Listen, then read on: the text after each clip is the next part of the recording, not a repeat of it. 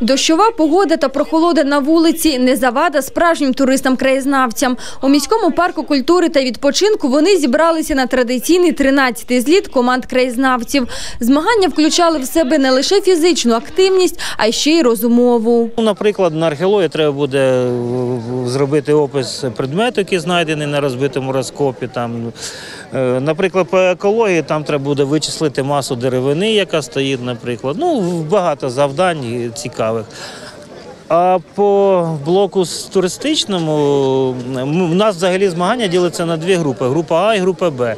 Тому що, на жаль, не всі школи мають спорядження. Це ну це не від нас залежить. Група А долала більш професійні перешкоди – навісні переправи, спуски та підйоми. Група Б – завдання, які не вимагають застосування туристичного спорядження. Учні 24-ї школи вже не раз ставали переможцями змагань, тож і не покидають надії на цьогорічну першість. Переможе сильніший.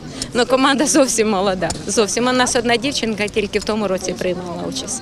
А то зовсім команда молода. Ну, надіємося, там побачимо. Школярка Олеся туристсько-краєзнавчою роботою займається вже три роки. Тож для неї ані спорядження, ані важкі випробування не є перепоною. Пересуватися не дуже важко, воно не сковує рухів, а е, в'язати теж не важко навчитися.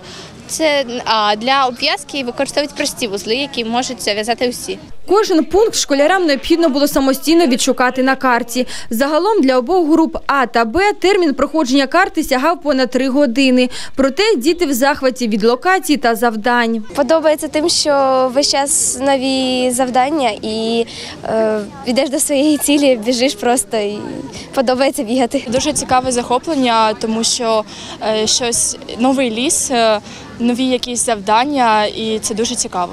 Загалом у 13-му туристсько-оздоровчому злеті взяла участь 21 команда міста.